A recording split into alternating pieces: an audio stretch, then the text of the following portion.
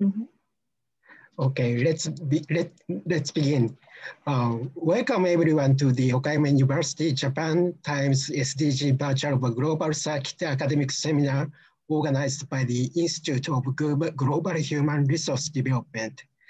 I am Dr. Nobuyuki Kambara, a professor and vice director of the Institute, and I'll be your host today.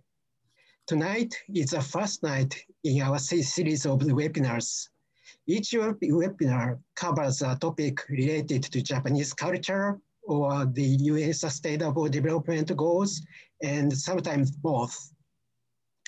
There will be a broad range of topics which we hope will appeal to a wide range audience and generate new ways of thinking and discussion. Since we are holding our webinar online, there is a possibility of technical difficulties. I hope that there will be not be any. However, if there are, we will do our best to resolve them quickly.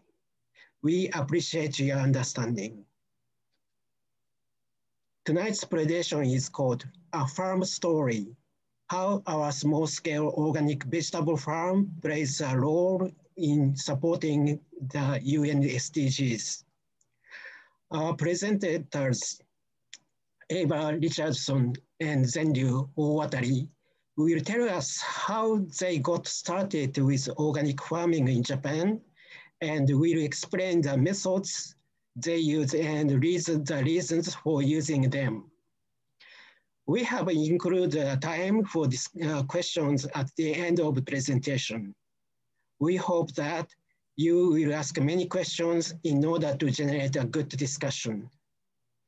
To ask your questions, please use the chat function in Zoom. Please be aware of that. There is also a function called Q&A. However, please don't use that because we will only be checking chat. At this time, I will turn it over to Eva Richardson and Zenryu Owatari. Thank you very much, Kambara sensei.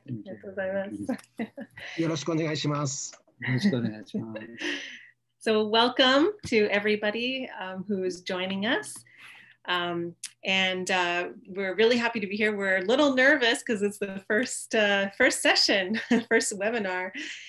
Um, and we're up in the mountains in Kyoto. It's very cold up here where we are. Um, so this, we're in our home at our farm um, up in Kyoto. And like Kambara sensei said, please open the chat function and make sure you can add questions at any point during the presentation. And uh, we'll try to answer the questions either during or at the end of our presentation. okay. Yeah, we hope you enjoy our story. Okay, I'm going to share my screen now, so please just give me a moment.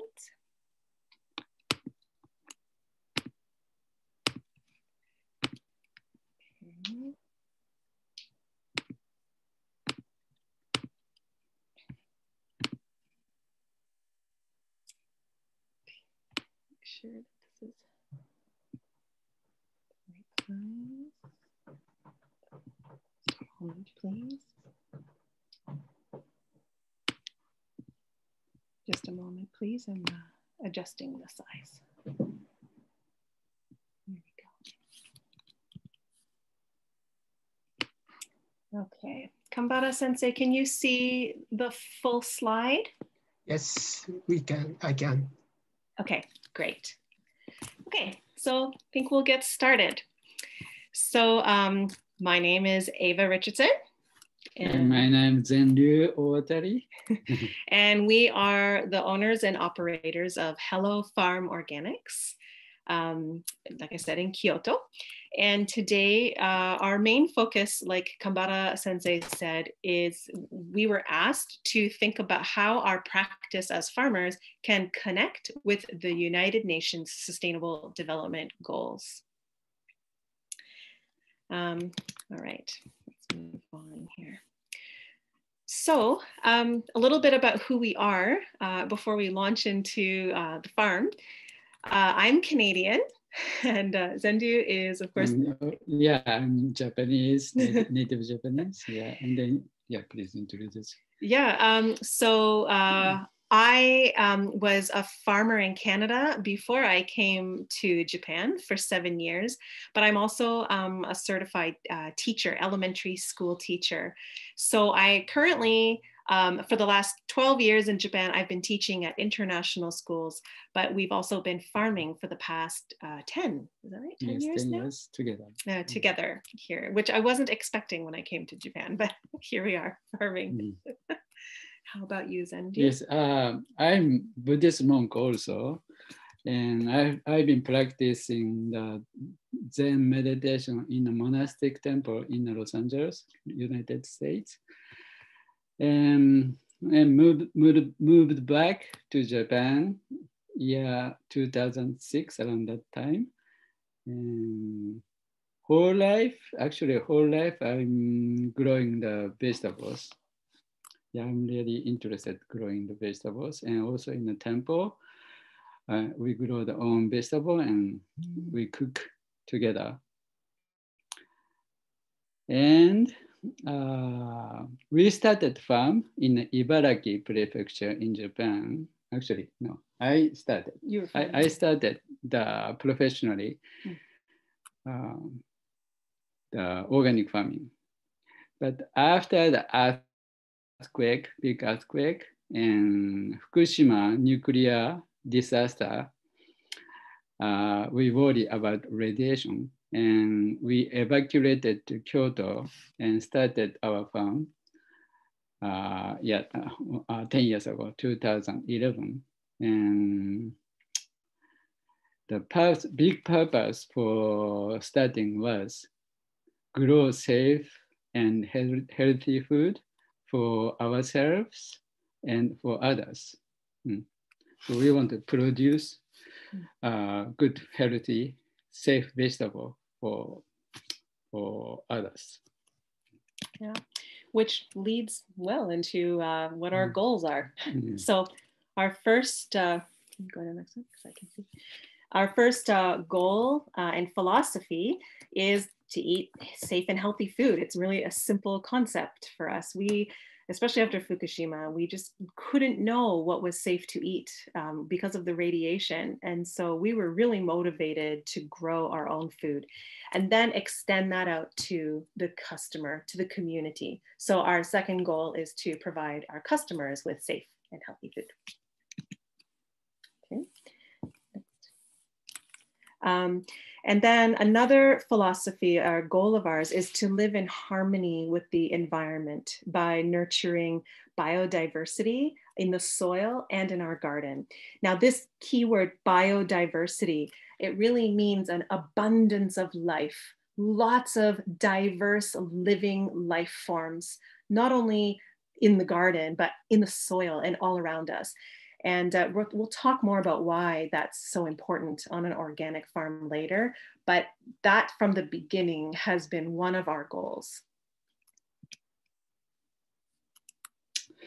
Yeah, for example, we like to be as self-sufficient as possible by growing all our own vegetables as much as possible.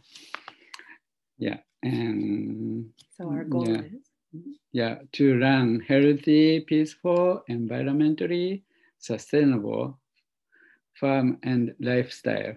So uh, most mostly we grow vegetables uh, self sufficient.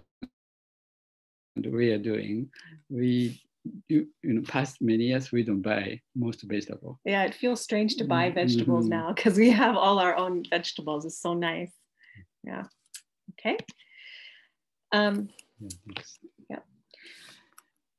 Yeah, we often read this one. yeah to to train future farmers and share our knowledge and passion is like uh, we often host young people on our farm to teach them about how to grow organically for example we have trained apprentices to manage their own farm we have also hosted school groups uh, and especially for that, we feel really important for educate for environment for children's.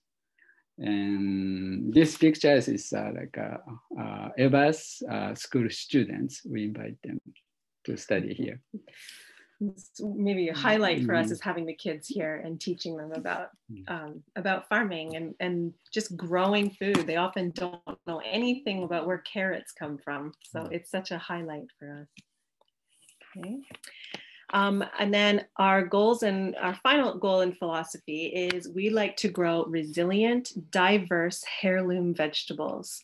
We'll talk more about that a little later, but basically, heirloom vegetable means old, ancient uh, varieties that you don't see. So they're not common anymore around the world, uh, but they're there and their genetics um, are resilient. And I'll talk more a bit about that later as well but um, there's many reasons to grow these old varieties of heirloom vegetables.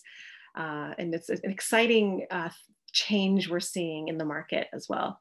Uh, we're also committed to growing organically, strictly organically, and we'll talk about why and what those practices look like. And of course, our last one is to save our own seeds.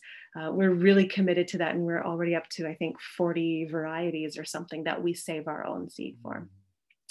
So, and also can explain. Also, we grow only we use only heritage heirloom seeds. Oh yeah. Yeah.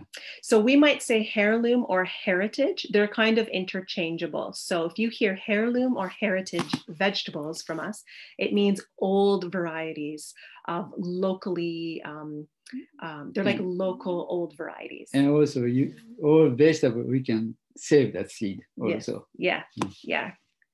Okay.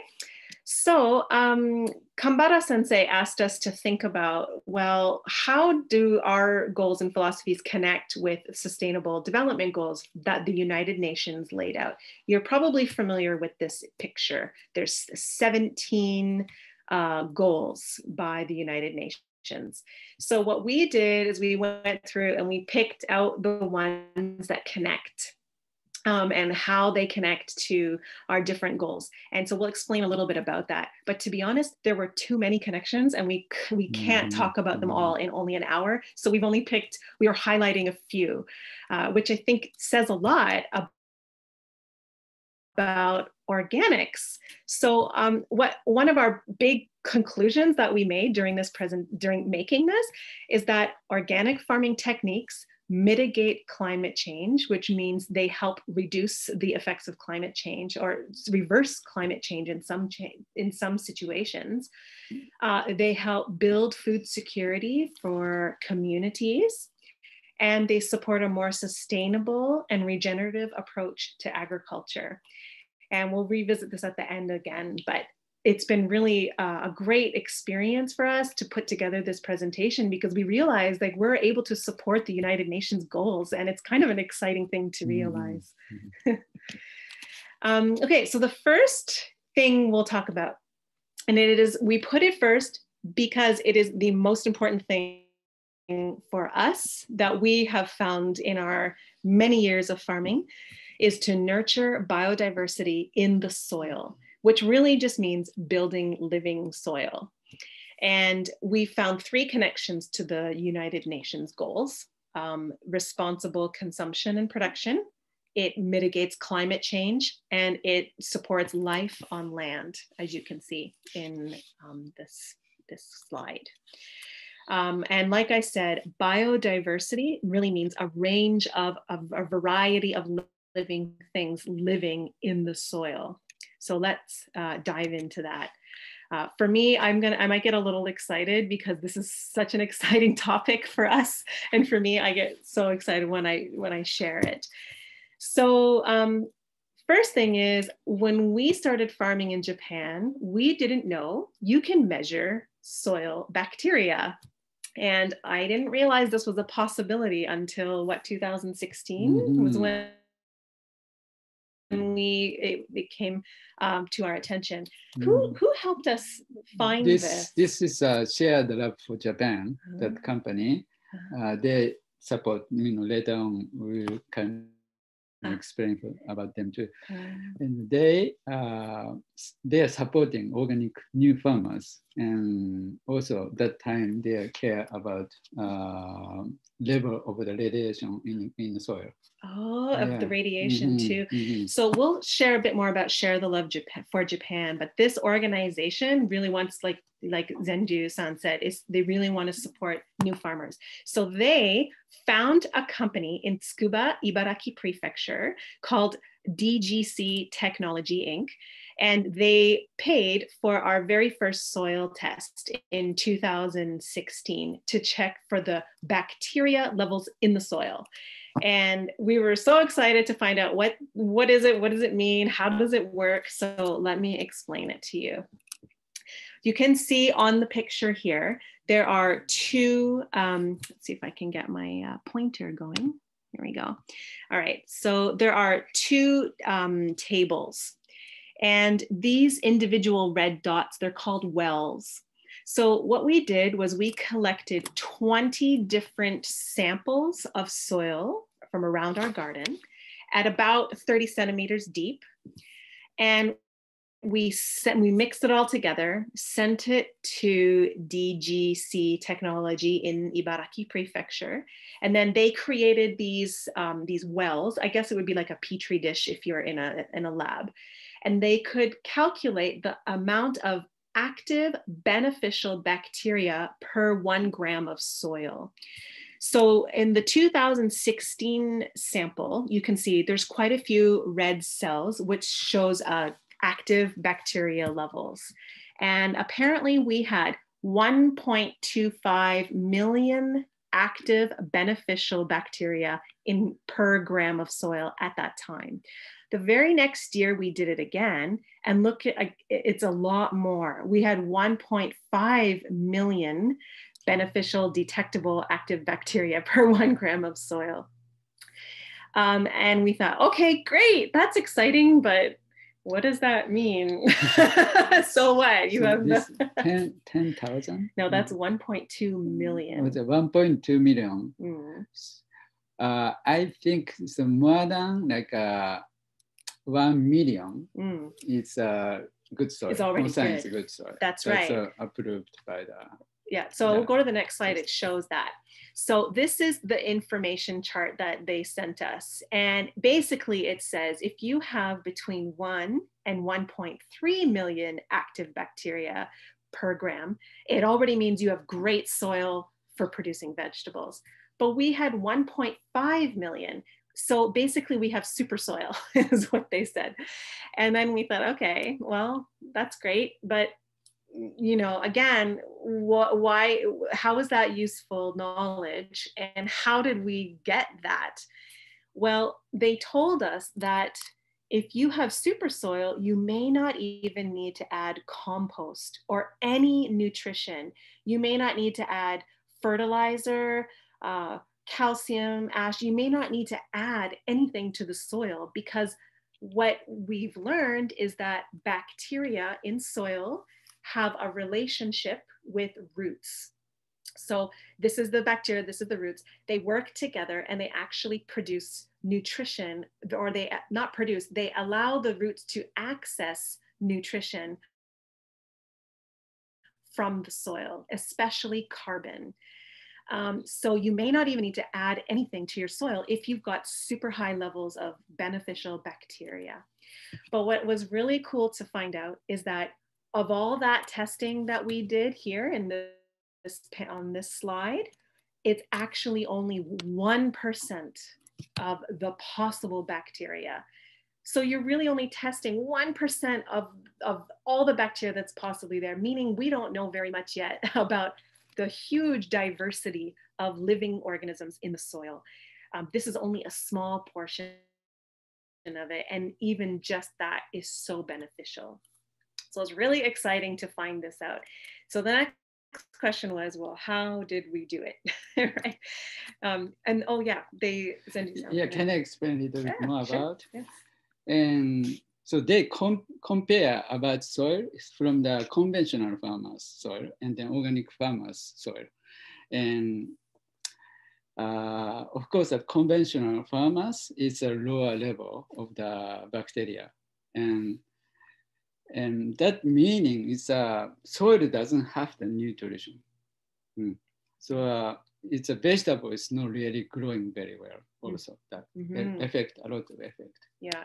Mhm. And later on, actually, I think I have a slide that talks about that bacteria Mhm. sequesters carbon. So Mhm. it's a, it holds the carbon and allows the plants to use that Mhm. carbon. So uh, this is only numbers of the bacteria, but the, this how to how to uh, result about Mhm. uh, this soil soil condition. Yeah. So it says picture too. You know, we, we don't have picture on this one, Yeah. but the picture is uh, is uh, amazing. The, they have a amazing technology. Take bacteria pictures in the soil, and that picture is almost like a universe. You know, so many stars, a million of stars. We cannot count the stars. And, and if you look at evening, Yeah. you look at the stars. Yeah. Yes. So are you like saying that. there's a universe in the soil? universe is in the soil too? Isn't that awesome? Mhm. I love that.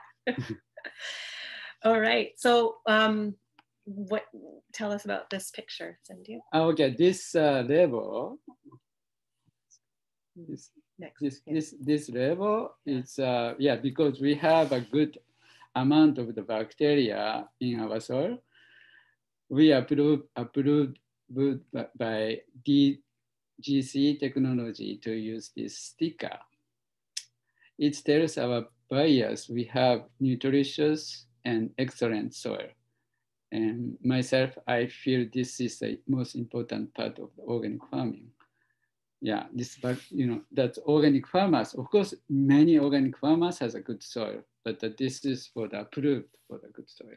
So we- call it a soil mark. So Mhm. we, we can put this sticker on all our produce now.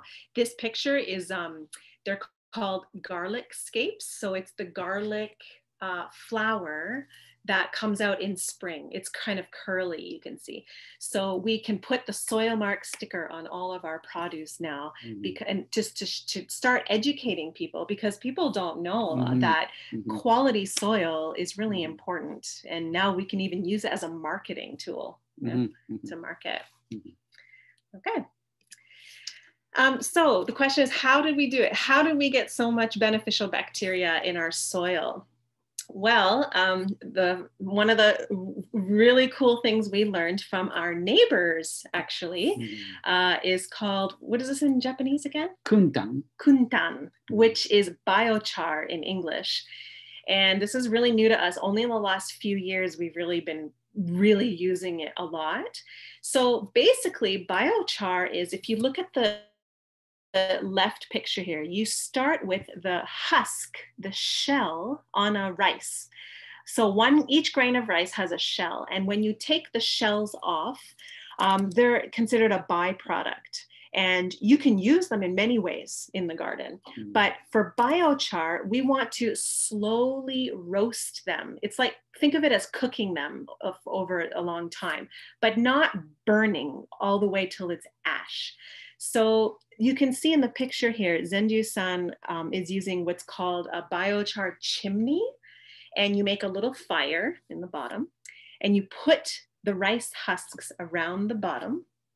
Uh, a lot of them, as you can see in this picture. And over about five hours, it slowly roasts the um, rice husk until it becomes black. And but it still has its shape. It's but it's super black. Um, what could you compare it to? Like a like a Yeah, if you if you cook more, if you burn more, become ash. becomes ash. Mhm. So we don't want to over overcook them or over roast it. And this, this is what the final product looks like. You can see in the picture here. This is basically roasted uh, rice husk. And I was so curious about, well, what's so good about biochar? So I found this website called the American US Biochar Initiative, and they say that biochar's immense surface area and complex pore structure like one gram of this can have um, an, a surface area of over 10 over a thousand square yards. That's a really huge surface area. But that surface area provides a secure habitat for microorganisms like bacteria and fungi. Fungi is like mushrooms. Certain fungi form symbiotic relationships with plant root fibers and this allows for greater nutrient uptake by plants.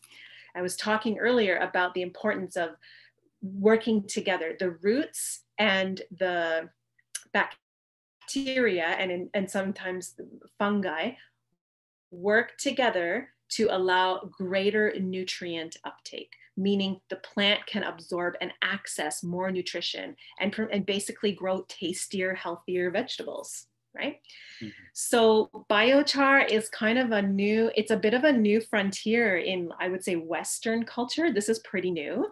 Mm-hmm. Uh, in mm-hmm. Japan, it's been around yes, for a long time. Long time. Yes, this is this technique is like uh, uh, we learned from the really, really old farmer in mm-hmm. this area and they are using for a long, long time. Yeah. And not only, this is just rice husk example, is rice, rice husk biochar, mm. but there's many biochar also, yeah. no? That's yeah. uh, even wood chips. Oh yeah, wood mm -hmm. chips, mm -hmm. yeah you can um, we might experiment with wheat someday wheat mm-hmm. husk what might be mm-hmm. interesting but basically you're just creating you're creating surface area for bacteria to flourish and, and, and beneficial bacteria to grow and then putting it in the soil and uh, that is going to help your roots your plant roots to flourish Okay, so what else do we do to improve uh, the bacteria in our soils? Andrew? Yes, our main compost is called weed compost.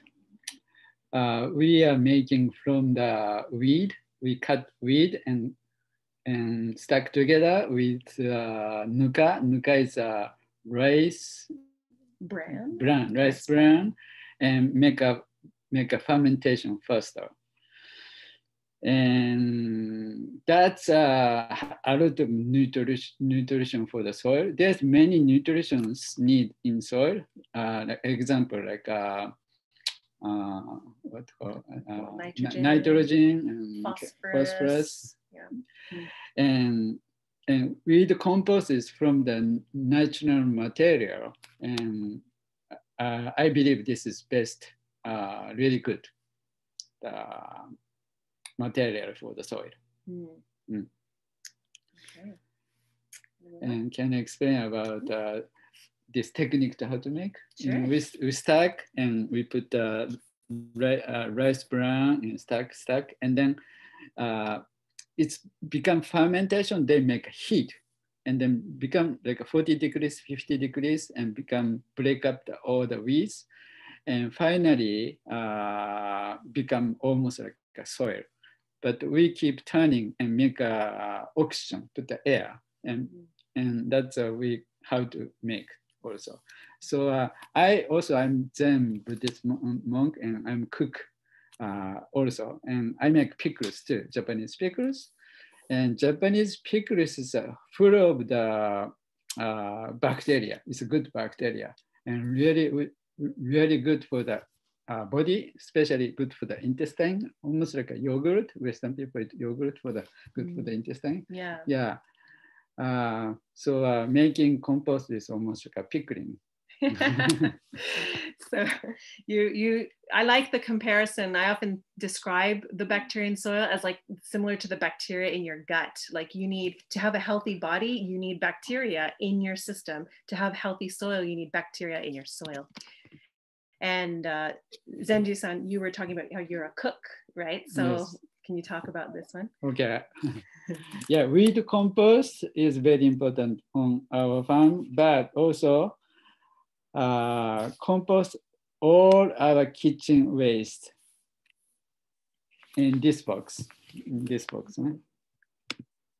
I lost my pointer. Mm -hmm. This one, we put this our kitchen waste kitchen in waste. here. Yeah. Mm -hmm.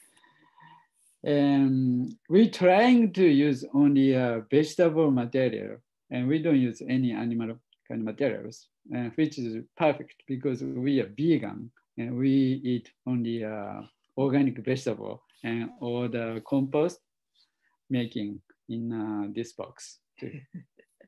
Can you explain a little bit more? Oh, um, well, just yeah, like the kitchen scraps and all the wheat compost. We just we turn, turn it into soil, and then the next picture explains what we do with it. Of course, you can see we add it to the soil every time we put seeds. Every time we plant uh, yeah, like seedlings. A, yeah, like seedlings, you know, Mm. called transplanting. Is uh, into the, this ground. Yes, every time before we plant, yeah, Mm. mm, we, we put put uh, materials in in the ground. Yeah, including the biochar that we mentioned earlier. You put a little bit of biochar, so you can add these amendments to the soil directly. Going to move along looking at the time, okay? along. Another thing we do with our compost is we make compost tea, and it's not for drinking. Don't drink compost tea. Um, but you can see um, this is a potato bag, like a mesh, and we put the compost, the what look just looks like soil in there, and then we stick it in these buckets of water, and then we can use that water, which is full of bacteria and, and wonderful nutrition and we just water plants in the soil. Maybe some plants boost a little extra nutrition at the end of their life. So we often make compost tea as well. Mhm. Also, you make uh, the worm compost. oh yeah worm worm compost too. Yes i have a worm composter like a smaller a smaller one for my class with my students okay we also add other things do we Yeah, add? we add like rice husks uh, before before the make biochar. Also, like this picture is what uh, we cover, keep moist the soil, and calciums from shellfish, Mm. and wood ash, and EM liquid, which is called uh, effective microorganism uh, mix of bacteria and yeast and fungi and rice bran also rice bran has a lot of uh, nitrogen and, and bug compost and uh, we in Japan we have so many like a tree we have a lot of uh, natures in mountains trees and then bug compost is uh, available ev- every like a farm stores Mm. Mm, yeah, like Mhm. uh, Conan and Komeri. You can get bark compost Mhm. everywhere. Mm. Yeah. For yeah, No, for for example, aburakasu. Yeah, abura doesn't say aburakasu here, but ah yeah, Yeah, here, oil Yeah. seed. oil seed shells. Yeah. Yeah. Uh, sometimes sesame seed uh, byproduct of making sesame oil. So the leftover shells are full of nutrition like nitrogen. Mm. And wood ash controls soil pH. And rice bran is also great for nitrogen. We don't use any animal uh, manures Mm. like uh, cow manures and stuff, chicken manures. Mhm. Mm. We try to not use. Yeah, we've Mm-hmm. moved away from using animal manures as a compost just because we have access also to a lot of other really beneficial amendments for the Mm, soil. Also, can Mm. explain, explain about uh, animal manures. Also, uh, sometimes we have to careful too. If it's in a in a natural like organically growing the the chickens and cows, it's okay. But uh, most uh, farmers, conventional, the animal farmers, they use uh, chemicals to Mm. feed the cows and chickens, and that's why we don't we don't use. We It's avoid. it's actually really hard to find organic animal byproducts in Japan, uh, just because there aren't that many organic uh, animal products uh, in Japan anyway. Okay. Yeah, okay. um, so uh, another thing we do to improve the soil uh, and thinking about bacteria is we do companion planting. So these are examples in the pictures here of companion plants. Basically, a companion is like a friend. So think of it as these two plants are friends. Uh, this is a marigold flower. And of course, that's a watermelon. If you plant them side by side, but really close, um, they help each other grow in different ways. Some companion plants produce, um, like the, the, the, roots actually mix together and they help each other uh, grow bigger and stronger. But they also um, create a good space for bacteria. Um, marigold, this in this picture, actually is a natural insecticide. Uh, insects don't like marigold, especially like aphids and like uh, what's aphid in Nihongo? Aburamushi. Aburamushi, like they don't like marigold. Mm. So um, we plant marigold everywhere because it's a natural pest control for insects, but not bees. Bees love marigold and it's good because bees help, of course, pollinate all of our crops. Um, but another example of um, two plants you could put together is like peas. Um, you might put peas with um, something green like kale. So peas uh, produce their own nitrogen. And of course, something green like kale needs a lot of nitrogen to grow big and strong. So you might uh, try planting them together and then they can help support each other. In this photo, we've got head lettuce with green onion. And of course, onion is a root crop. Lettuce is um, a leafy crop. So they're opposite families and they can help support each other and keep pests away. Or, um, and even in some cases, it just helps keep the moisture, the water in the soil. Um, and of course, fungi and bacteria need a lot of moisture to stay active and thriving. So there's a lot of reasons to grow companion plants together and there's books and books on the topic. Mm-hmm. lots of yeah we, we're still learning about this uh, companion planting techniques. It's yeah. uh, really interesting. Yeah. Mm-hmm. my i have a book called um, carrots love tomatoes. Apparently you can grow carrots right beside tomatoes that grow up so I haven't done it yet, but mm. it sounds like a really mm. interesting match. Yeah, farming study is a life study. Forever learning. There's always something new to learn. okay, um, another thing we do to keep the soil quality really, really great is, is crop planning and our crop uh, rotation. This is not a great picture, I'm sorry, but if you could look closely, these are, it's a big map of our, all of our gardens. And we map out every year what we grow, when, what we added to the soil, how long it took, the condition. So we have detailed records of every single garden bed and what we grew in it. Um, and there's a bit of a rotation that organic farmers have followed forever, that it's a good practice. You can see here, if you grow a leaf vegetable like lettuce, the next thing you grow after that should be something like a fruit, like perhaps um, peppers. Uh, and then after fruit, you might grow a root vegetable like daikon radish. And then after that's finished, you grow a legume, which is like a beans or peas, let's say edamame. And then you go back to the rotation. So after edamame, you could grow another leaf vegetable, maybe um, arugula and or pakuchi, uh, cilantro. So it's a bit of a cycle. And the reason we do this rotation is because each crop requires different nutrition. So here, fruit crops follow leafy greens because fruit crops need a lot of phosphorus. Root crops follow fruits because they need potassium. And then legumes follow roots because legumes make their own nitrogen, which is great for the next leafy crop after that. So if you keep, if organic farmers keep that in mind um, and have a rotation for their crops, you're not growing the same thing year after year. And this is a problem on big, large scale conventional farms, especially like in North America. Sometimes they grow, you know, corn for 10 years in a mm-hmm. row on the same land every year. And that just depletes the soil of all the nutrition that that crop needs, which means you have to add chemical mm-hmm. fertilizers. Mm-hmm. You have to add um, chemicals so that it will keep growing and you'll get the, to get the same amount of fruits and vegetables.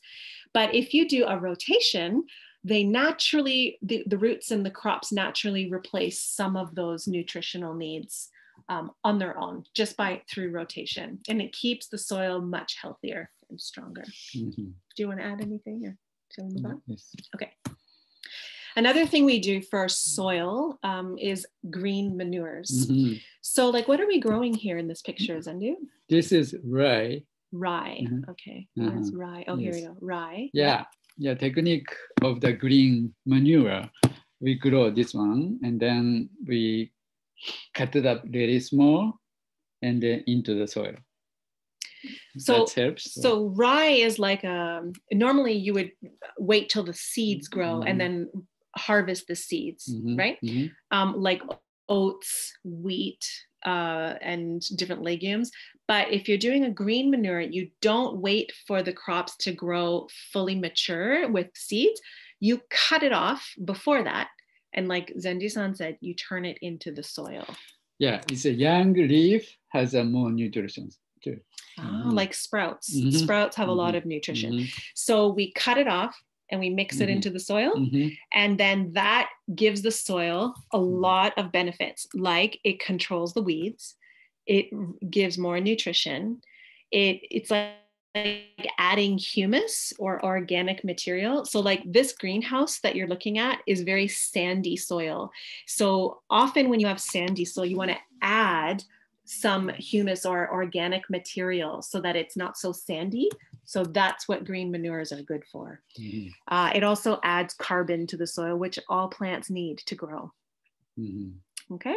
Whole garden kind of composting. Yeah, like whole Mhm. garden composting. Think of it that way. Mhm. And instead of adding any fertilizers, this acts as a manure, but it's green manure instead of like regular manure. Okay. Okay. Um, uh, one other thing we're trying more and more is no-till farming. We are not a no-till farm, but we're trying it uh, bed by bed. And no-till means we don't turn the soil and add more nutrition.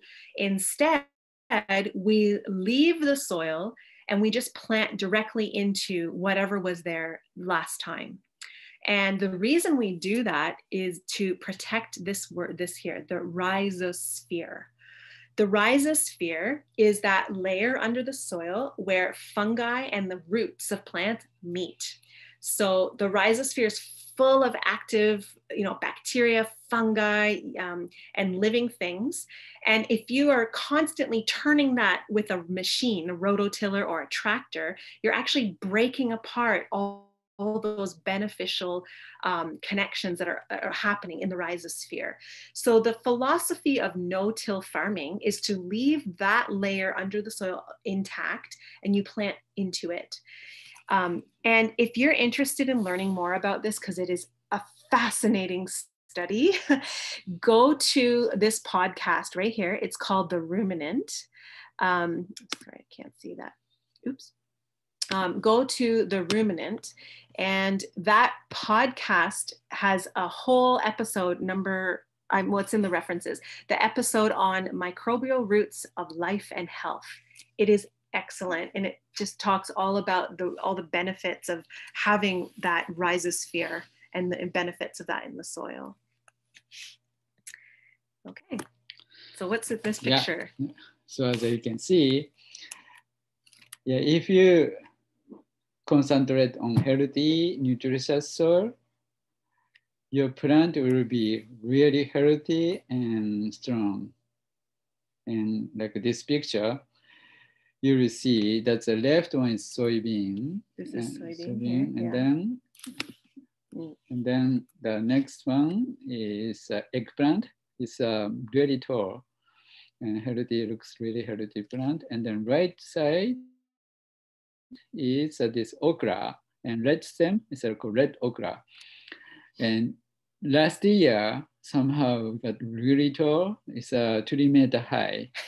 Mhm. I, we couldn't reach the okra we had to bend the plant they were so tall this year Mhm. So this is one of our gardens that has the super soil that we tested. And you can see just in the picture, it was so lush and green Mhm. this year and it did Mhm. so well. It produced a lot of vegetables this year. Mhm. Okay. All right, so next, We're, spent most of this presentation is about the soil. So the rest are just shorter bits. So thank you for your patience. That was a Mhm. lot about soil, but really is a priority. It's the most important part of organic farming, really. So um, another way uh, that we support the United Nations Sustainable Development goals is to nurture biodiversity in the garden, not just underground in the soil, but the actual garden, the plants, the animals. And by doing that, we're supporting life on land, climate action, responsible production and consumption, and, and it's reducing hunger in the world. We never spray pesticides, chemical pesticides on anything. And the main reason, obviously, we're organic, so we can't, but also the problem is there's so many beneficial animals, living things in the garden that might we might kill if you spray. And I have this word here, indiscriminately. It's a huge word, but it, it means if you spray, let's say for aphids, aburamushi, you might also be killing bees, ants, dragonflies, and other beneficial insects because some of these weed uh, pest killers kill many things at once, not just one thing. Now, some of them do uh, just control one thing at a time, like they're meant just for aburamushi, uh, uh, aphids, but many of them uh, kill many other beneficial animals, what I like to call garden helpers. So here are some examples of some of the garden helpers that we protect every single day. yeah, Imori, left one, Imori is a Japanese salamanders that eats slugs and bugs. And right one is uh, a special frog called a Mori aogaeru, the forest green tree frog it's a pro protected species in Japan. And they eat a lot of insects to protect our gardens. And we have many enemies. Garden so enemies. Garden, garden. so this frog lives only near fresh water, super clean water, and lays their eggs in a tambo, it's a rice field. And so this area, rice, we have, we have many, many rice fields, this area. And, and this area is really famous for the good rice because the water is really clean and um, really mm. fresh. Yeah. Mm -hmm. And um, yeah, these are really special frogs. They're protected under uh, Japanese government. So um, it's really nice to see them everywhere in the garden. And this is the ladybugs yeah, ladybugs is a really popular, famous for the uh, eating the, especially eating the aburamushi aphids. And they can eat 5,000 aphids during their short life. so we are always happy to see ladybugs in their, uh, and also the larva. larva. This is a larva. larva. yeah or in the garden. Yeah, we sometimes we are excited to see that see them. Yeah. Mm -hmm. So if you see this, it doesn't look like a ladybug, but this is like the um, like the teenager, the the young adolescent version of a ladybug. If you see those ever in on trees or in your garden, don't touch them. They're really those are the assassins. those are the ones that eat most of the aburamushi, the the um, aphids. Okay, another garden helper is, this is called a parasitic wasp. And believe it or not, even those scary wasps, some of them eat caterpillars. And a lot of people don't know that. Um, they just think they're scary. But this wasp was putting that caterpillar in, um, it was, it's, it's a mud, kind of a mud house that it had laid its eggs in. And they put the caterpillar in there for the larva when they hatch to eat. So it's like pretty cool. but we love seeing these parasitic wasps around because they really help clean up the, this is a cabbage moth uh, um, caterpillar. And of course, um, what's this called again? A praying mantis. Praying mantis. Yeah. What's in Nihongo? Kamakiri. Kamakiri. They are super helpers too. They eat lots of bugs and, and insects. And then of course we have lizards, lots of frogs and um, dragonflies eat a lot. They eat their own body weight in, in uh, mosquitoes every day. so they're really helpful as well. Um, and then earthworms oh, yeah. and beetles. Yeah. like this uh, kuwagata, uh, English called uh, stag beetle. Stag- be- stag beetle, yeah. All live in our garden in uh, build soil. But if you're spraying pesticides, insecticides, fungicides all the time, all these animals, they can't live there. And they're all helping us. So we're we really are strong advocates to please like don't spray if you can avoid it. Especially our pollinators. Um, I didn't put any references, but there is a global problem right now with our bee populations are dying around the world because of neonics. Neonics are um, it's a uh, basically it's a chlorine-based pesticide that gets sprayed on on plants on crops, and it kills a lot of Mm, bees. We have a huge problem. Some some uh, like advanced countries already, like uh, European, some European countries, that they quit. they banned they they banned. banned, these But still in, chemicals. in Japan, still we're using that. And then and sometimes the, some rice rice farmers they use that. So that's why we, we, we have not enough population of the bees. bees. Even we had a beehive in our garden for two years to try and attract the bees to, to come and stay. We even put like a pheromone uh, chip to try and attract the bees. We couldn't because the neighbors still spray Mm. um, some of these really harsh chemicals. yeah, So Japanese called Nicotinamide. Ni- Mm. is the name of the pesticides. Mm. Mhm. yeah, um, if you want to learn more about it, maybe we can add some more information later. But I didn't put any of that. But this is a big area of study and kind of global concern for pollinators right now. Okay, another way we support the um, biodiversity in the garden is, of course, just the plants themselves. We mentioned in the beginning that one of our goals is to grow heirloom uh, vegetable varieties, which means old or ancient, localized vegetable varieties that maybe are unusual. Like maybe you've never seen this. Um, what's this one called? The Uh, Koshin daikon Koshin is uh, in the English called watermelon, watermelon radish. watermelon radish. Like, look at how beautiful it is. Mhm. But a lot of people don't know about these um, because they're not like super popular um, yet. But I think that there's a movement happening to try and eat um, more heirloom and older varieties of vegetables.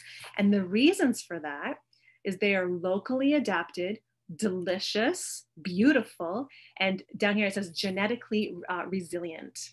And genetic resilience really just means they, their genetics are really strong to survive in the local climate, in the local environment against pests and climate change. So here's a quote for you um, from a great article in National Geographic, which I recommend you read. Uh, by growing heirloom and other non-commercial varieties, small farms bolster biodiversity and increase food security. With only 12 plants and five animal species making up 75% of what the world eats, food systems are vulnerable to natural disasters and disease outbreak. I find that shocking that most of the world, 75% of what we eat is only 12 varieties of plants. And that's unbelievable when there are literally millions of varieties of vegetables out there that are unheard of or old or are lost or forgotten. So, this is an important part of developing food security um, through organics, but also for the United Nations goals. Should I move along? Okay. Like, you want to show this example of a heirloom variety? Yeah, this uh, first of all, this explain this is a, we do the uh, workshop for the miso make miso workshop, and that's miso is come from made uh, ingredients main ingredients of the soybean, and especially this area famous soybean called tamba kuro kuro kuro is a black soybean. And yeah we, we make uh, miso and we try to make preserved food from the, our vegetable too And this is a really old variety. It's a heirloom variety of, of uh, soybean from the Tamba area of, is that Kyoto, Tamba? yes So yeah, from Kyoto. Mhm. Okay, So um, the other, some of the other things we do is, uh, of course, organic. The practice of organic supports the United Nations goals on many, many fronts. So I'm just going to move along quickly here. Uh, a big area, though, is reduce greenhouse gases. Uh, I, through my doing this pr uh, presentation, I realized that we actually reduce greenhouse gases in many ways by being organic. Um, if you're not sure what greenhouse gases are, they're the, the gases responsible for climate change. So for example, carbon dioxide, methane, nitrous oxide, those are all um, naturally in the environment, but um, with, with technology, the turn of the um, century when the, the industrial revolution happened, there's too many greenhouse gases now in the atmosphere causing the world to warm. And Unfortunately, conventional farming is a big culprit, a big problem because over a century now of conventional farming has been releasing chemical fertilizers and pesticides or using them. And chemical fertilizers and pesticides release huge amounts of greenhouse gases into the air. Not only by just using it, but by making them, it produces greenhouse gases. Um, one study in Nature magazine, it showed that there's 40.2% um, reduction of nitrous oxide emissions per hectare of organic compared to non-organic systems. So there's a huge difference um, if you do choose organic or not. Um, another study from Yale University showed that the world's cultivated soils have lost between 50 and 70% of their original carbon stock. Much of it much of which has oxidized upon exposure to the air um, to become carbon dioxide. So you can see in this picture, um, large scale uh, conventional farms turn huge amounts of soil. They turn it every, even a couple times a year. Well, just by turning all that soil and leaving it exposed, you're releasing all of that carbon that was stored in the soil. So soil is a carbon sink. And if you're familiar with, with, with the whole concept of climate change, you'll know that like coral reefs are a carbon sink, trees are a carbon sink, like forests, and so is soil. And so it is shocking to see that up to 70% of their stock is gone now because of agriculture. So um, deep tilling, um, constantly leaving soil exposed is now, we need to change that. It can't be happening anymore. So instead of using these pesticides and chemicals and turning soil so much, uh, we use things like floating row cover. You can see here. So the bugs can't attack. It's more like prevent rather than react, because of course, pesticides is usually a reaction to bugs and pests coming in. So instead we use floating row covers. Um, our Rodale Institute had another study. This is amazing finding Organic agriculture can remove from the air and sequester 7,000 pounds of carbon dioxide per acre per year. So that's a lot of carbon that we can put back into the soil where it belongs. Um, but this is the this is the potential that organics has in this fight against climate change. If you're interested in learning more about this, I highly recommend this movie. We watched it recently. Mm. It's on Netflix. It's called uh, Kiss the Ground and it talks about regenerative agriculture, which is what I've been talking about, kind of. It's like the idea of of using agriculture to store carbon in the soil rather than like constantly releasing it. Um, it's a sink, a mm-hmm. carbon sink. Mm-hmm. Um, and again, it's all about deep roots and the, that rhizosphere under the soil. Mm-hmm. This was a really great mm-hmm. little, I would say it's like a good beginners video movie, like for beginners mm-hmm. to understand this better. Mm-hmm. Um, and they've got lots of famous people to get you excited about it mm-hmm. on it as well. yes, we are It feels really important for the organic organic movement in this globally. Mm. Mm-hmm. Please check it out on Netflix. yeah. Okay. So um, yeah, uh, this is about seedlings, and yeah, the it's really hard to find organic seedlings in stores. uh, especially in Japan, maybe any countries, because uh, usually seedlings, they use a lot of uh, chemicals to grow faster. Mm. And also pesticides too. In the beginning, they put the pesticides and bugs doesn't attack. So we grow uh, everything from the seed. Yeah, and then we make our own soil mix and start start up the the seedlings. Mm -hmm. Okay. Um, we also use some um, local uh, transportation, like a network, uh, a couple networks that we use. Um, and it's really important to talk about this because they've supported the local organic movement a lot. You can see here there's On the Slope and Kyoto Organic Action. And by working with these um, food distributors and networks in our area, we're building food sovereignty.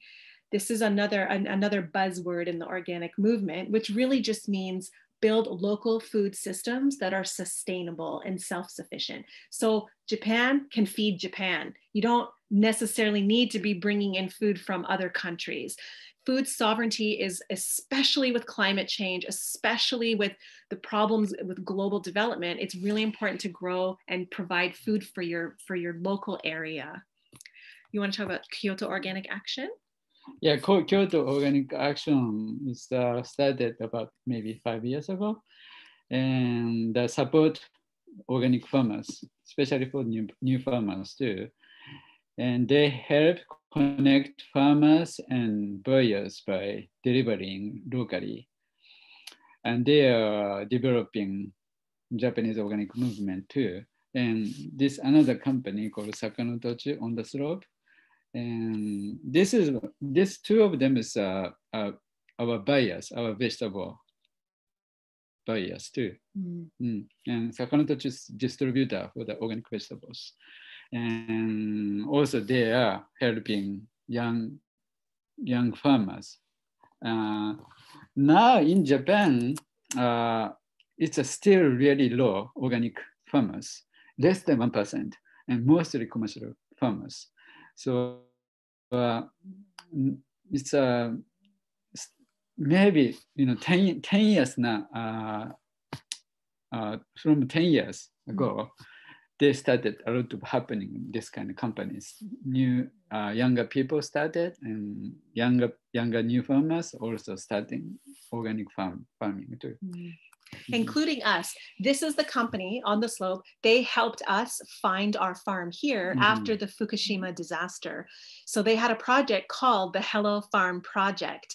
Uh, which we now took the name Hello Farm Organics. Mm-hmm. And the project was to find farmers from the Tohoku area after the Fukushima disaster and move us south to, um, to sort of restart farms again. So these two organizations are really instrumental in supporting the organic movement in Japan. Mm-hmm. So we really wanted to spend a moment to tell you about them. Okay, so other things we do. Mm-hmm. Um, so we host lots of volunteers uh, in our gardens, as you can see. Uh, and uh, we do this for many reasons. One, education, get to uh, get uh, just to teach people about farming, but also you can't compare using your hands in the garden to a machine hand weeding and using your hands in the garden is always better if you because it doesn't compact the soil as much heavy machinery compacts the soil reduce, produces lots of greenhouse gases but humans uh, we just have such a, a, a, softer, gentler touch in the garden. Um, and it reduces the amount of fossil fuels that we need to, to, to work the land. So it helps also mitigate climate change. Um, and we host lots of volunteers, like I said, through um, WWOOF Japan down here. WWOOFing is Worldwide Opportunity on organic farms and it's a global network of farms.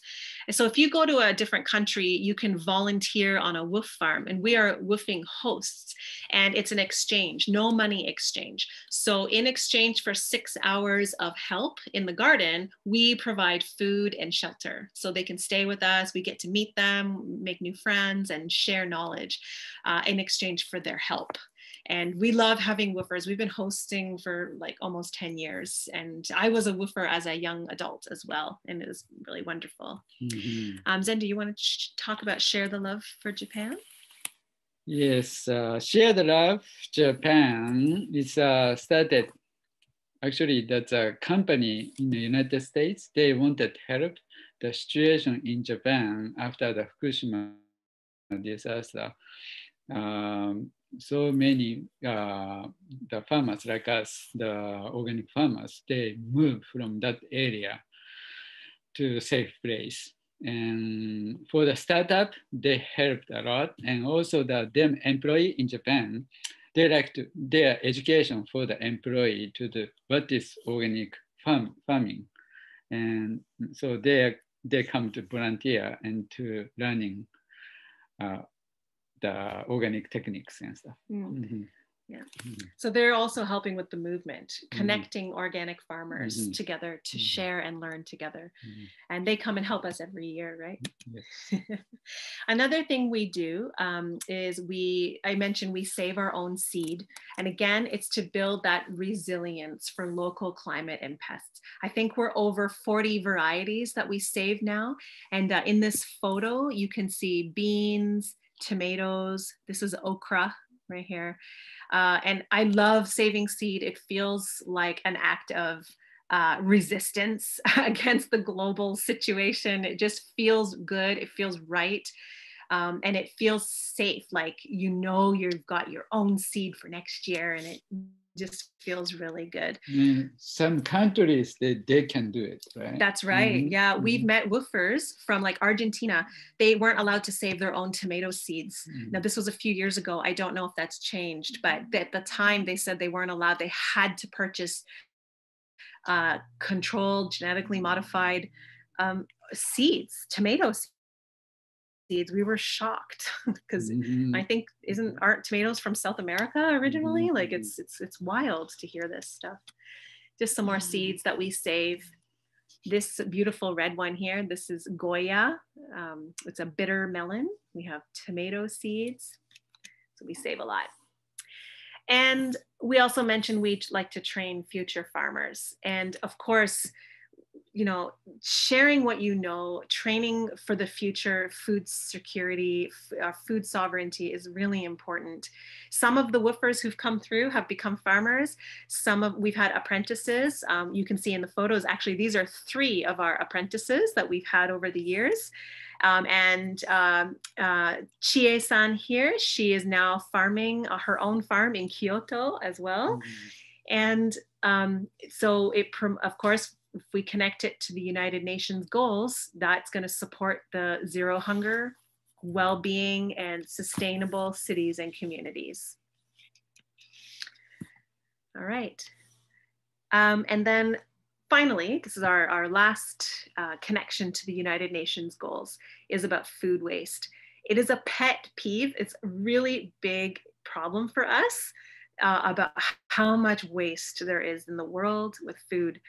Um, this was an amazing article in National Geographic about food waste, and it said that according to the uh, the Food and Agriculture Organization of the United Nations, we squander or waste enough food globally 2.9 trillion pounds a year, which is a third of the planet's food production.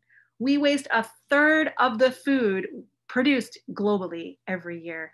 That could feed any all the rest of the humans that are suffering and don't have food right now easily twice over it could feed them so um, we have worked very hard to have no food waste. You can see in the pictures, we have some funny shaped carrots with legs or daikon radish with legs, but they're delicious, they're nutritious. They just may not be the most beautiful vegetable you've ever seen.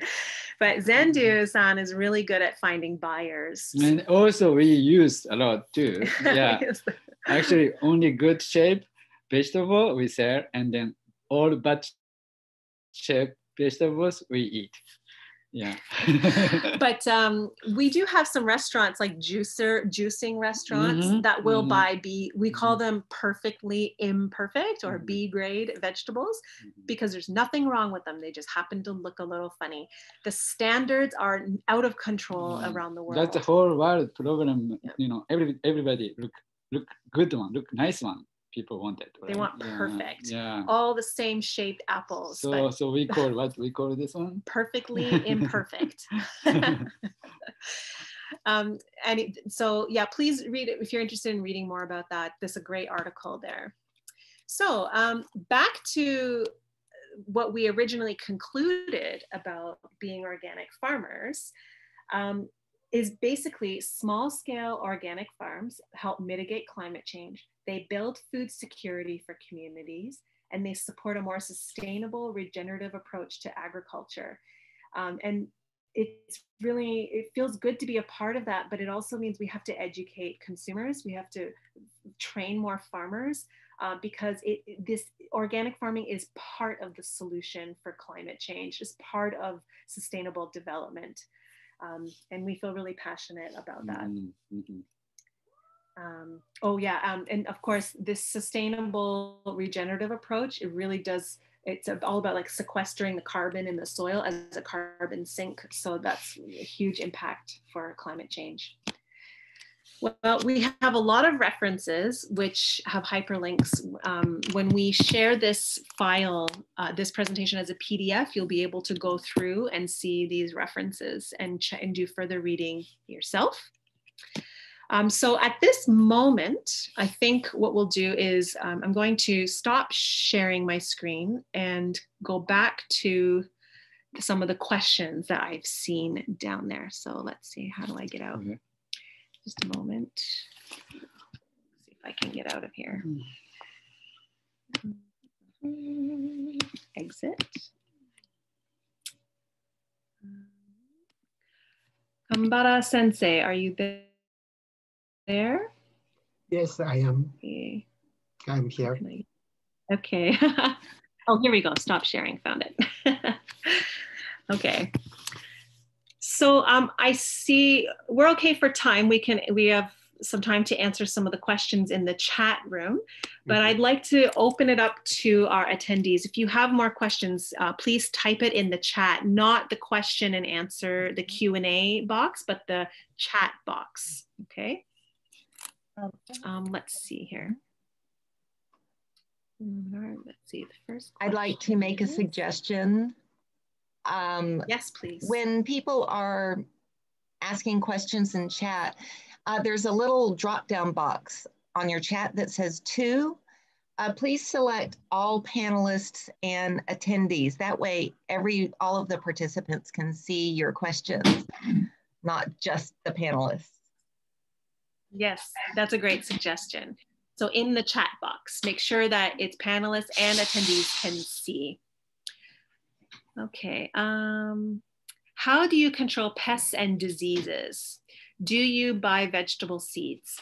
Okay, so we did talk um, already quite a bit about how we do protect, uh, we control pests and diseases. Uh, the row covers that I, you could see um, was a big help. Uh, we, of course, if you keep healthy soil, then if you build healthy soil, that actually naturally acts as a pest control and a disease control. Um, the crop rotation we talked about is also really important for disease control.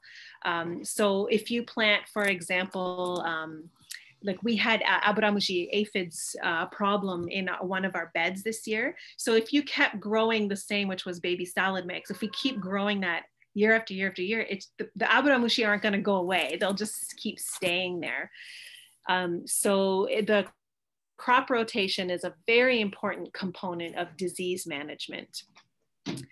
Um, and then the seeds that we save. Uh, if you are saving your own seed from the healthiest, strongest, no disease-free plants, they will have the genetic potential to to fight off disease on their own. So saving seed is really important as well.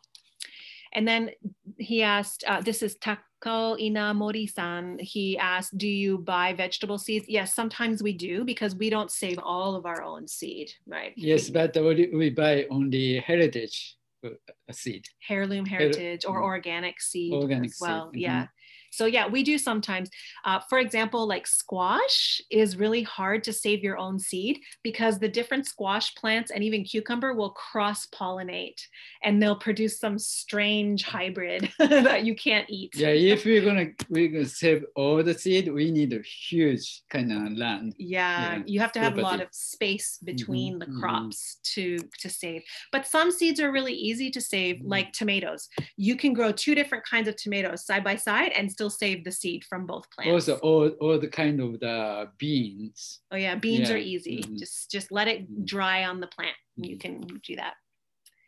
Okay. Um uh, okay, uh, Aoki-san here. Um, I am living in an apartment and I am wondering that our tr- uh, trash and peels uh, and uh, vegetables. Oh, I, I think the question is about what to do with your kitchen kitchen waste in your waste. apartment. Mhm. yeah, good question actually Mhm. because if you don't have um, uh, property to compost, it's really hard. Uh, but actually, you can do composting in your house with uh, worms if you don't mind having worms in your house. That's a really good one. Mhm. yeah, um, there's a small red worms called red wigglers. You can order them online. And you just create like um, you can use a Rubbermaid or a Tupperware and put them in there and put kitchen scraps, and they will eat the compost and make it into soil. So that's one option Mhm. you can do. but maybe you need a bigger one. Yeah, bigger box. a bigger box. Mhm. Yeah. It's a too bad in Japan. It's still not the the trash system. It's uh, not separated compost and trash and Mm. stuff. Uh, like Canada, America, they separate the compost bins and stuff. Mm, Uh, and someday I hope in Japan gonna have happening like that. Yeah, because a lot of people live in apartments and you can't compost Mhm, in your apartment. So it would be great. You know, you could write letters to your government officials, everyone, say, we need curbside composting for everybody in the cities. okay. Um, I found the compost for the person who live alone. So I will do that. Oh, good. So this person, uh, Aoki-san said that they found out about composting alone. So that's great. Um, another person, uh, Hina S says, can bacteria survive in water? Yes, bacteria Mm. can survive in water. Um, and it says here, is it allowed to label organic if a farmer inputs the products of compost, including non-organic veggies? Okay, so that's two different questions. Bacteria can live in, in water for sure. In fact, you've probably heard of like people um, getting like, uh, if you drink uh, water that has bacteria, bad bacteria in it, you can get really sick actually if it's a bad bacteria. Um, so, but if you make the, the compost tea I was talking about, that's a beneficial bacteria you can then put in your garden. Okay. Do you know that drink, the North American famous Oh, drink? kombucha. kombucha, that's Kombucha. a mushroom, the bacteria drink. yeah. That's a good bacteria yeah. for your body. Um, and then, okay, the question was if you put non organic things in your compost, can you still call it organic? Actually, no, you can't. So that's why we are not a certified organic farm. We're not certified because actually our fields are too close to the neighbors and they they spray and sometimes the spray comes over into our fields and it's a it's a harsh reality for farms in Japan especially because spraying chemical pesticides is very common we have rice fields right beside our hatake our vegetable garden so we couldn't be certified organic even if we tried Mm, mm. Also, that uh, in Japan, the small scale farmers, it's uh, really difficult to get this uh, certified uh, system. It's a it's a JA. It's a Japan Japan agriculture. They control everything, those kind of stuff. So uh, all my friends too, we don't, uh, they don't have the certified small farmers. Mm. It's a lot of money, and every year they have to pay a lot of money for the check the soil and stuff. Mm. And then, but fortunately in Japan, we we trust each other, in Japanese culture. So uh, not too many people lies about oh this is uh, we don't use any pesticides. This is all organically growing, and not too many people doubt it. I would say the movement is um, about 10 years behind North America. Mhm. Like in North America, if you say organic, you have to be certified or you can get charged Mhm, like by the Mhm. police. mhm, so mhm. um you you if you like our i don't think we'll be able to call ourselves hello farm organics when we move to canada because we're we unless we're certified organic. So to answer the question if you use non-organic materials on an organic farm you can't be certified organic. So it's not technically Yeah, organic. Also, I don't want against about organic like uh, level organic certified organic. Uh, but reality is uh, in Japan, the standard organic, the standard level is uh, is a really like a, not like a North American standard. Mm. Example like a seed. Uh, uh, in Japan, you can even you can use not not like a heirloom heritage seed, and even um, uh, not organic seed. Yeah, and then seed, even the seedlings. Mm. Mhm. Yeah. Yeah. So the standards are a little more relaxed in Mhm. Japan. Um, in fact, uh, we sometimes get seeds that are coated with like a purple fungicide. A fungicide is to keep the fungus and mushrooms and um, uh, like um, what's the word? Uh, mold from Mhm. growing on the seed because it's so humid in Japan that the seeds would die really fast if the, when the package is opened. So even organic products in Japan can sometimes like the standards are more relaxed because Mhm. it's just a different Mhm. situation. It's a different you know system in Japan. Mhm. So I put the ourselves we put the label, uh, not only the soil mark that I explained. We grow everything from the seed, and we don't use any pesticides, and we don't use any uh, fertilizer, chemical fertilizer. I just explain on my uh, vegetable. on our labels. yeah. Okay. Um, so let's see another question. As for the management, is it full-time farming or part-time farming? Do you want Mm. to answer that? Yes, I'm. Uh, yeah, that's uh, full time. full time farming. Zenji-san's full-time. I have been part-time for many years because I was teaching as well. Uh, but we've always had one or two volunteer woofers. The world, the woofers are the volunteers we were talking about. So they kind of made up for when I'm not here.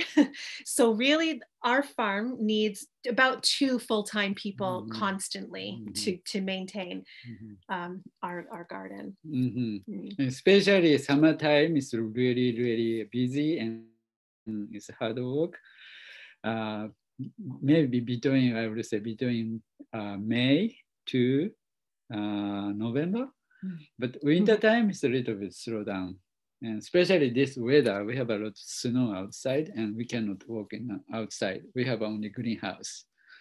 Yeah, yeah, we have a lot of snow here. Mhm. Okay, um, Aliana Morales is asking, um, can these practices be applied in other areas of Japan or even in other countries, locations, and temperatures? Are the requirements the same?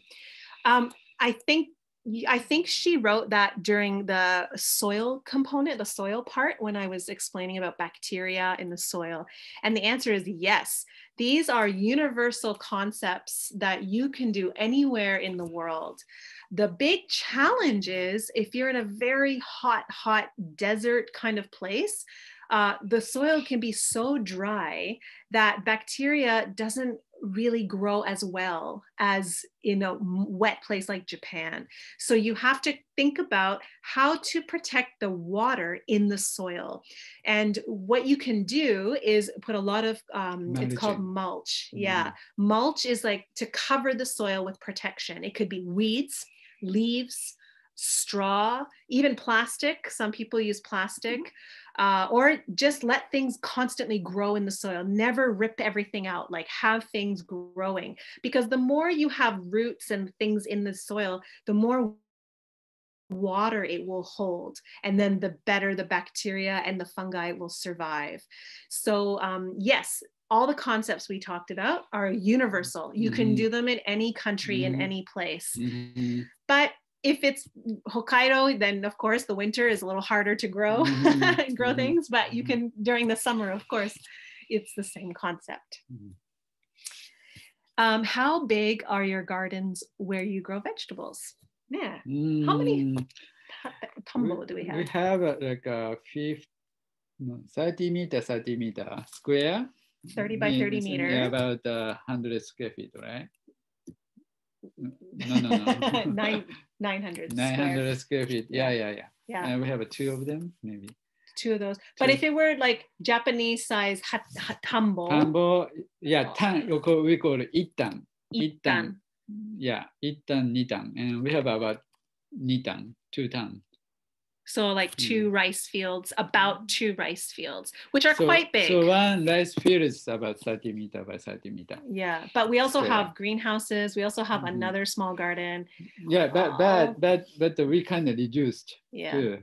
Yeah. But I would say all together, it's like just over an acre if you're talking acres in North American standard sizes.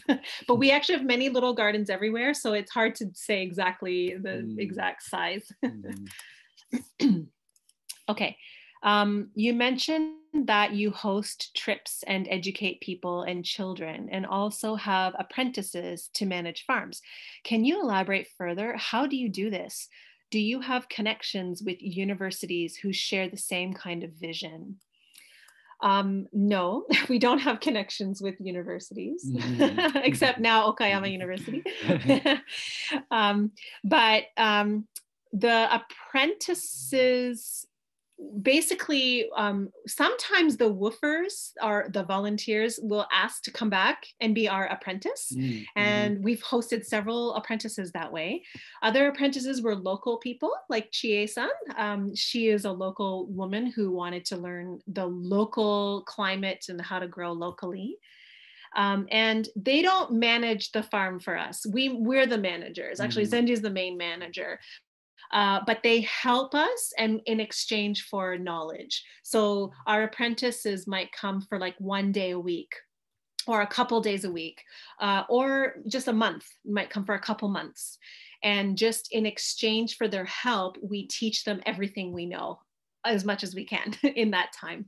Mm-hmm. Yeah. Yes. yeah. Um, now, when I was an apprentice, because I apprenticed for three years in Canada on three different farms. I was able to make a little bit of money um, because I wasn't volunteering. I was a farm paid helper, but it was for six months. So it was like a full like employment. And um, I was paid, it was very small amount, but they provided me with a place to stay and food from the garden and a little bit of a salary to just help me because I would go back to university in mm. between my apprentices. Some, some uh, organic farm in Japan also does those kind of yeah. system too. So each each each uh, organic farmers farms are different. Yeah, mm-hmm. we've never had a full season apprentice like whole like every day. Mm-hmm. Um, but the local mm-hmm. the local woman Chie-san who was apprenticing with us, she would come once a week for the whole day every week. So that was a, another way to do it. So you just be creative with it. Depends what people want out of the experience, you know. Mm-hmm. okay. Uh, where can we bring from soiled for compost for the living alone and uh, oh we already answered that the apartment thing okay um how big is a lot kind of, uh, regarding my question about the size of the garden how big is a lot that can be used for the kinds of vegetables that you grow. Well, if you know, even one Japanese hatake, tambo, is quite big. Like that's a lot to manage for one person. Uh, but you can grow a lot of food, even in just like, you know, five meters by 10 meters. You can grow a lot of food in a small area. But for business, you want at least a couple, a couple rice field, like tambo. Yeah. Yeah, at least in Japan, we call it at least uh, per person is uh, needs uh, five tan. Five People- tan, yeah, five tan. which is rice fields Mhm, Five rice field size to make to to make as a to live to make business. Make business. Uh-huh. But we have a But- lot less than that. Yes, yeah, because we we we do that. We have a really good soil, and we do the special techniques, you know, like a Mm. companion and stuff. So uh, Hmm. so that's a that's a book. You shows that small scale. Oh yes, yeah. small scale organic Mhm, farms. mhm. Well, I, I guess we do intensive gardening. So like one bed is never empty. Every single hole in like a space is used growing something. So we're growing on a smaller scale, but it's more intensive. Mhm. There's no wasted space ever. Whereas if you're growing on like a larger scale, you might have like a few beds that are empty for a while, or uh, even one whole field that's kind of like laying there doing nothing. We don't have that. It's Mm. one crop finishes and we put the next one in.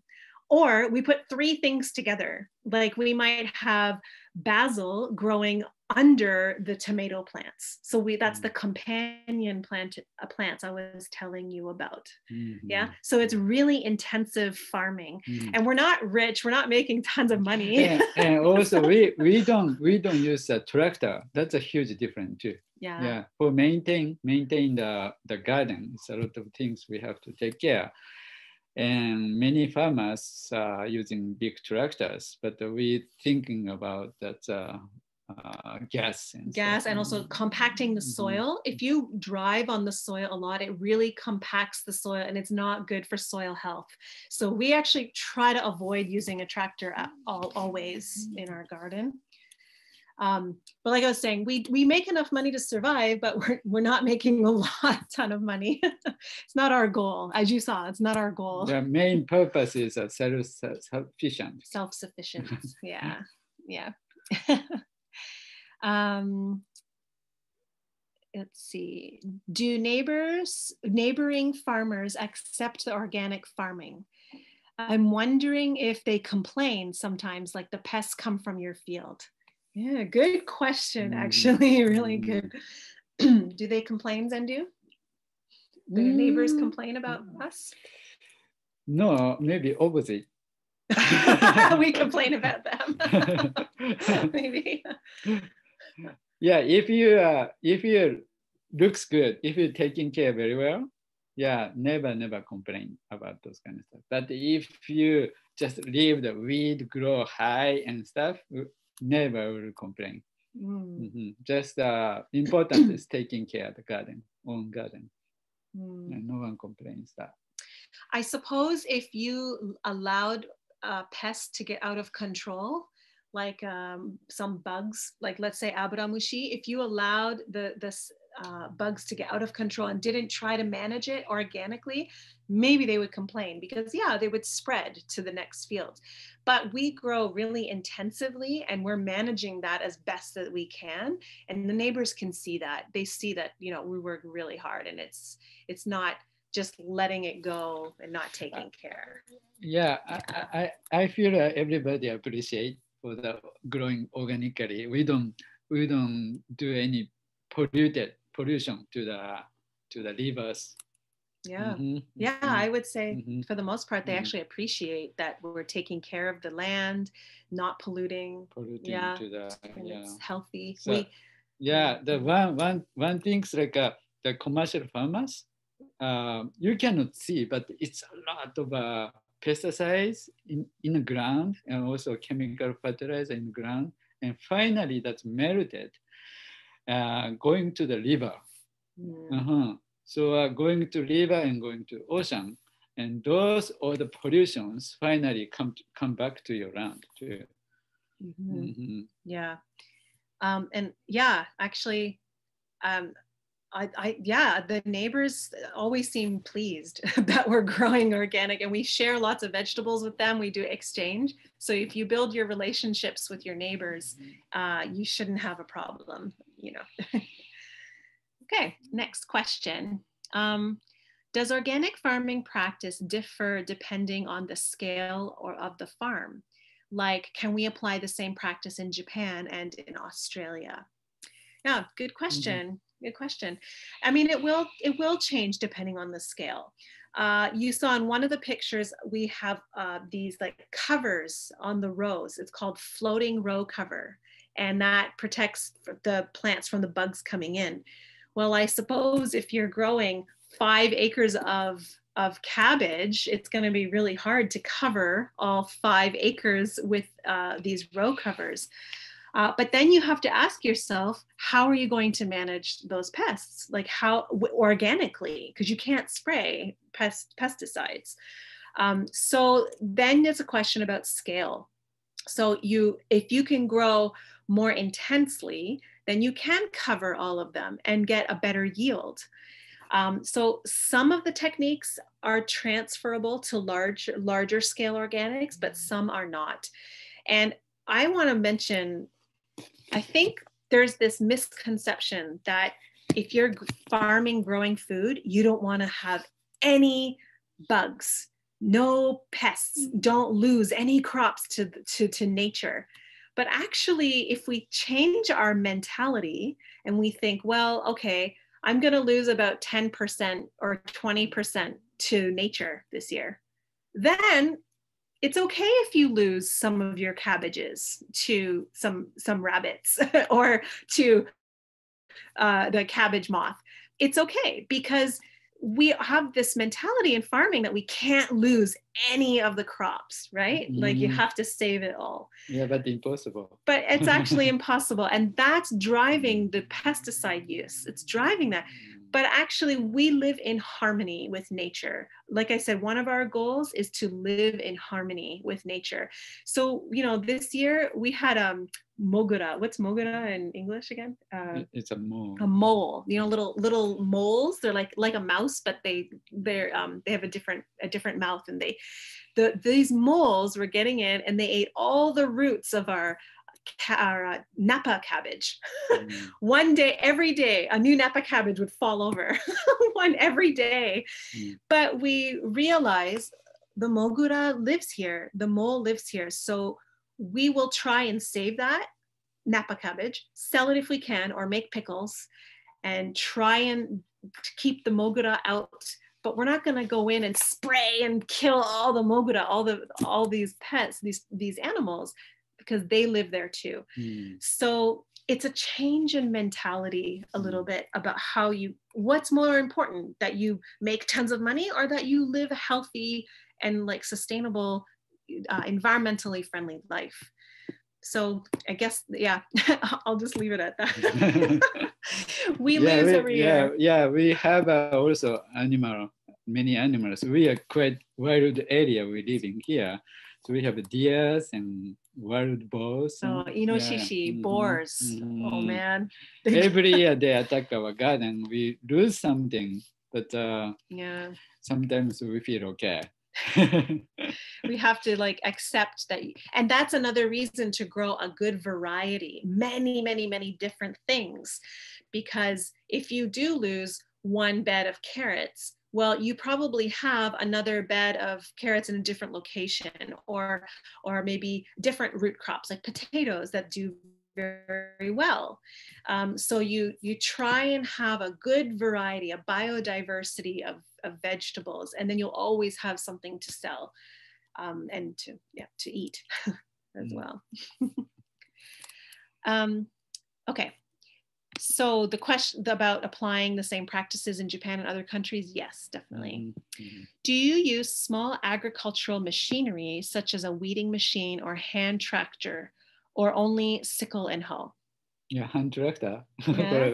Uh, tiller, tiller. rototiller Rototiller. Yeah. We have a small one. That's the biggest machine we have. And of course, we, we have the weed worker, Mm. weed trimmer. how do you say rototiller in nihongo あーね Yeah. あの管理機 kanriki 管理機 kanriki so it turns the soil uh, but again even with that we try to use it as little as possible because we want to keep the soil structure in in health uh, in good good structure um, but yeah that's the biggest tool biggest machine we Mhm, have mhm, actually mhm. the weed whackers, you know, cut the weeds. We have a lawn mower as Mhm, well to mhm, cut cut the mhm. weeds as well. But yeah, everything else is by hand and like hoe, tool, hand tools. Mhm. yeah, it's hard work, that's for sure. Um, then I see one more question here. My question is more specific about farming oats because I saw in the presentation, I have been re- researching the growing of oats in Japan. How are you able to grow oats? Hmm. Yeah, good yes, question. Actually, my friend grow this area too. oh yeah, Yes. in Keihoku, in, in Keihoku, Kyoto. I think everywhere you can grow oats. Uh huh. So the Mhm. que- yeah, you can. oats. I didn't know Mhm. you could. Actually, this is also some people use as a green manure. Oh yes, Mhm. Yeah, so oats are great as a green manure. You let it grow not to full maturity, just like a certain height, and then you chop it up and turn it into the soil, and it adds carbon and, and humus to the soil. Uh, but apparently, you can also grow the grain, right? Mhm, To, to grain too. harvest the grain. I didn't know that. Mhm, mhm. Okay. Okay. Uh, that's, I think, all the questions. Did I miss any questions, Judy or uh, Kambara sensei? Did you see? I think I got them all. Yeah, I think that's all. Thank you very much, uh, Eva-san and Zenryu-san. Uh, we are very happy to have you here uh, this for this uh, special program. And uh, uh, uh, your speech was very wonderful and informative. Yeah. Thank You're you. very welcome.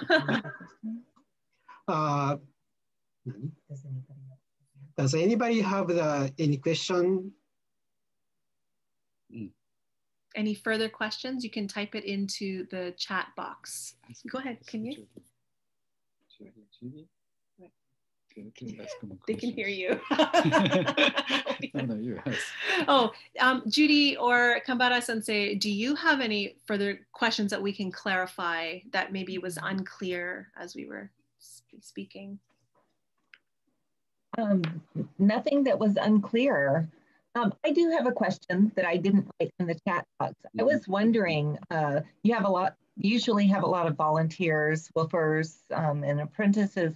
And I was wondering how how the COVID-19 pandemic has affected that and um, how is it, I can imagine it probably has and how much has that increased your workload on the farm this year? That's a really good question. You want to answer? Yeah, no, no, please. Well, actually, um, because I had been teaching up until last September or last June, and my contract finished, uh, we were supposed to actually move to Canada and last June, but because of coronavirus, we decided to stay another full growing season. So actually, I've been farming full time with Zenryu-san. Mm. So the two of us full time has meant we haven't needed any other helpers at this moment but also the borders shut down for a while so there were no other helpers or volunteers able to come from outside the country. Now there were some local people who want who s- expressed some interest but we um, we shut uh, we just we weren't really comfortable with like the physical distancing and everything to have other volunteers here when we could manage ourselves. So we haven't had any help since last june or before that maybe Mm. since last june Mhm. yeah Yeah, yes. Mm. Last whole, whole last year we didn't have the helpers. yeah Mhm. so Even just- apprentice we don't we don't accept it. So uh, Mm, yes, we had really hard time. Mhm, yeah it's been hard mhm. not only with the help but coronavirus has affected everybody in different ways and for farming um, like restaurants had to shut down for a while or just people aren't going to restaurants as much so our buyers are actually not buying as much well some of them are not buying as much as they Mhm. used to The decrease actually actually decreased a lot. yeah Mhm, so we've lost some sales that way mhm. uh, definitely. Um, but also, um, because we hadn't anticipated being here, we were late starting our farm this year because we thought we were leaving Japan last June. So we were last minute seeding for the summer vegetables. Mhm, so it affected us that way too. We lost some Mhm. income with that. mhm. Yeah. Um, I see another question here from uh, Minami Aoki-san. Do you know your WWOOFer do after returning to their countries? Yeah, um, sometimes the WWOOFers will email us and let us know what's happening. And we've had several start their own farms. Uh, some we've got a woman in Malaysia who works in the organic food like industry. Mm. Does, works for a distributor now. And from that, do you remember that from Portuguese the couple? Oh yeah, yeah the Portuguese mm-hmm. couple. They mm-hmm. started their own mm-hmm. farm mm-hmm. as well. Mm-hmm. Um, and another another guy from Portugal. He he has a goat farm or something now, so he's also farming. Mm-hmm. And a couple of our WWOOFers have come back to learn more mm-hmm. about what's happening. Um, like one of them from France uh, Tim, he mm-hmm. now runs um, it's a, a micro brewery, like a bar. But he, because of his time with us, he tries to source organic, uh, locally produced uh, beers from around France. So what a cool way to influence local economies, local, um, you know, industries. Uh, but definitely we've had some start farms and we share knowledge all the time. We're mm-hmm. constantly back and forth. Yeah, we have many WWOOFers. How many WWOOFers we had uh, in the past 10 years? Probably a 100, uh, probably a 100 mm-hmm. WWOOFers over mm-hmm. the past 10 years, yeah. yeah and yes, we have a really good many many good stories with WWOOFers yeah i mean it's a great way to exchange knowledge and and lots from japan too lots of japanese WWOOFers. So mm. if uh you know you never know if we're still here next summer and you want to come WWOOFing and let us know.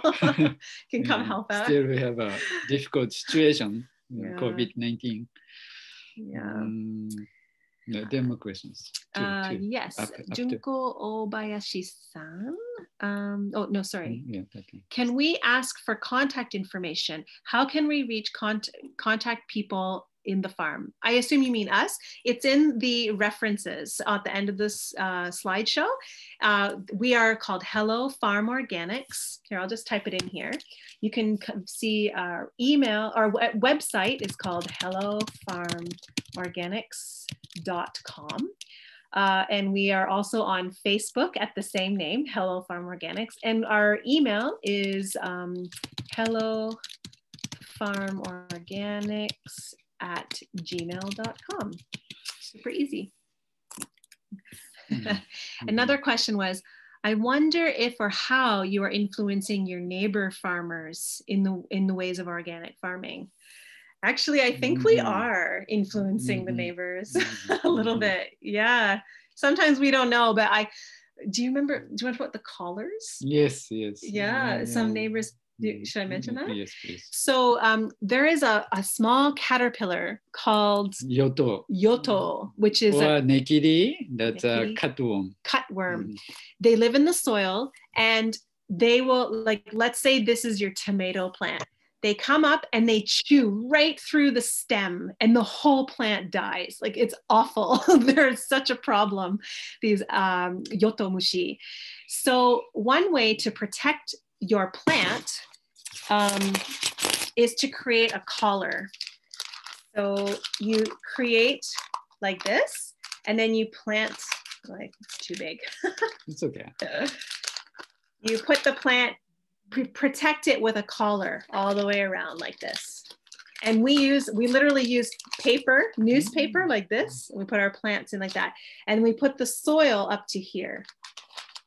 So soil up to here, your plant sticking out, and the yotomushi can't climb up somehow. They can't climb up this side of, it's called a collar. And we started doing that years ago. I think one of our first years mm. here. To, so all of our seedlings go around, we put collars on them with, with newspaper. And we started seeing it in some of the neighbors' gardens a few years after that. So they were asking, Nanikore, like, what are you doing? Why are you putting those things around your plants? And we said, well, we don't want to spray for yotomushi. So we're using organic materials or like decompose, it can decompose and natural materials and it works. Once the plant gets really big and strong, the stem is too thick and the yoto can't chew it anymore. And then the color just disappears because it's newspaper and newspaper can decompose. So we started seeing our neighbors using the same technique. Mm-hmm. So that was kind of nice. It felt good, like, oh, yay, they're not spraying as much now. Yeah, this uh, neighbors is mostly the like uh, house uh, growing for the for the for the house members. So small small kind of gardens. Yeah. Mm-hmm. So um, also they they don't they don't want use a pesticides for themselves. Mm. So, so they like to know those kind of technique too probably. also, we grow all our own seedlings from seed, all our uh, from seed, and we sometimes have extra, mm-hmm. and they all love to get our seedlings. So we give them as presents. We're like, here's five extra tomatoes, or some extra zucchini, or some extra, you know, eggplant, and they're so happy to get our vegetables. um, any other way we influence? Yeah, those I think there's other ways we influence them, I'm sure, uh, but we don't always know about it. Um, okay, I, are there any other questions? I see that was good. We got a couple extra there. If you have any other questions, please type them in.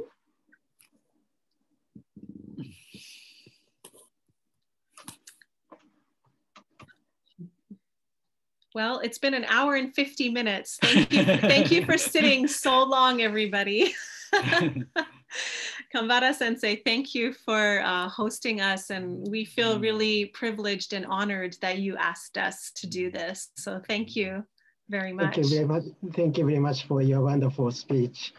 Um, yeah, so as, as, you told, told us now, yeah, we already spent uh, one hour and 50 minutes. So it's about time to close this session. Uh, again, uh, thank you very much, Eva-san and Zenryu-san. Uh, You're very welcome. Thank you, thank you. um, for, for, participants, uh, we will upload the video of today's uh, uh, program and also uh, speaking about the slides, uh, we also uh, upload the PDF sometime soon. so stay tuned. Okay. Sounds good. ありがとうございました。ジュリーさん、too. Uh, thank you, ジュリーさん。鎌田先生、ありがとうございました。どうもありがとうございました。so, mm-hmm. uh, mm-hmm. it's time to close. Uh, have, a, have a nice evening, everybody, and see you soon again. Bye. Okay. Thanks everybody. Bye bye. Stay safe, everyone. Be organic. Organic. Be safe.